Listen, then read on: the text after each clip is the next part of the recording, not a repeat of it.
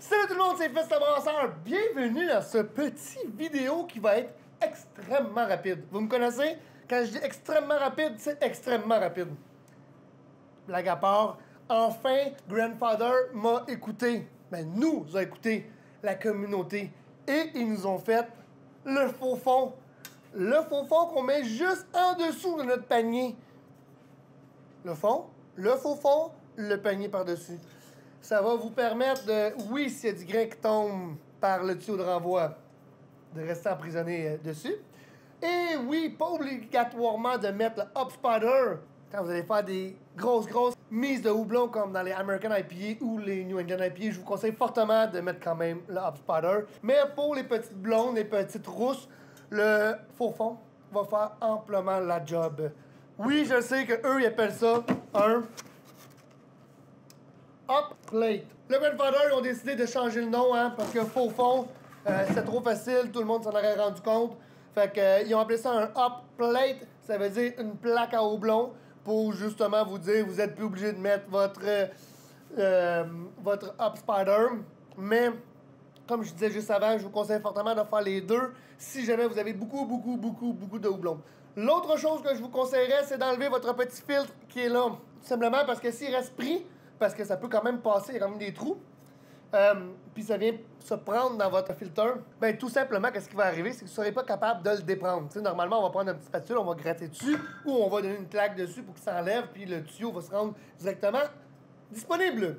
Là, tu as ça dessus, tu vas aller ici, en dessous, ça ne fonctionnera pas.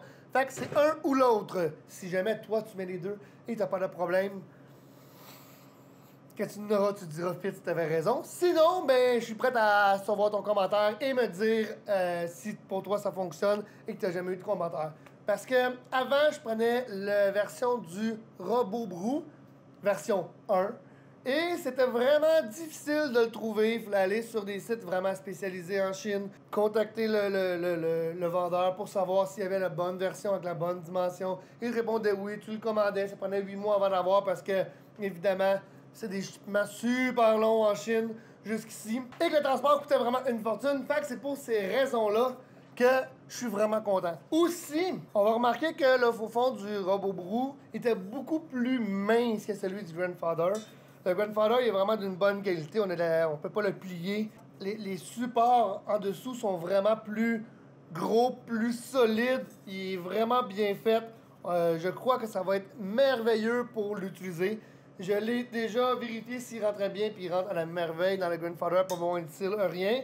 Et le fait d'avoir les deux petites pattes, comme ici que vous voyez, va aider à pouvoir le tirer parce que souvent, quand on met beaucoup doublons, ça fait vraiment un.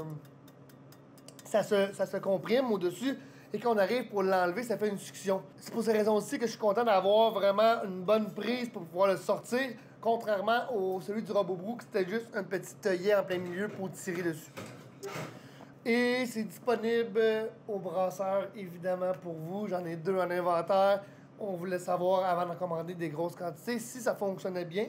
Et si présentement il rentrait dans le, toutes les sortes de Grandfather. Et pour l'instant, rentre dans la version 2, sûr et certain. C'est sûr qu'ils vont rentrer dans la version 3 aussi.